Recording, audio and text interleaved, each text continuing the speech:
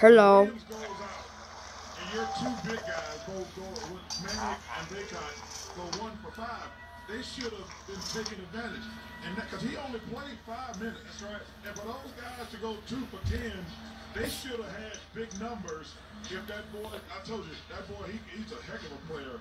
But when he, he only played five minutes, Bacot and Manic should have taken advantage of that because now First of all, he don't come out and get stupid fouls again, because he is a handful on, in the paint and on the defensive end, but also you saw on that offensive rebounding, he gets a lot of them.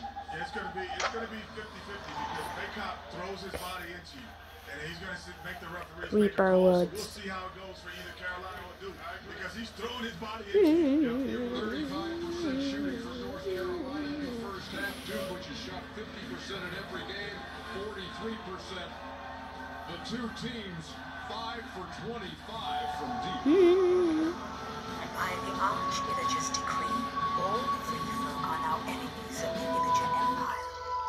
Some enemies thinks that Caravan is transporting Illager prisoners to labor in far-off lands.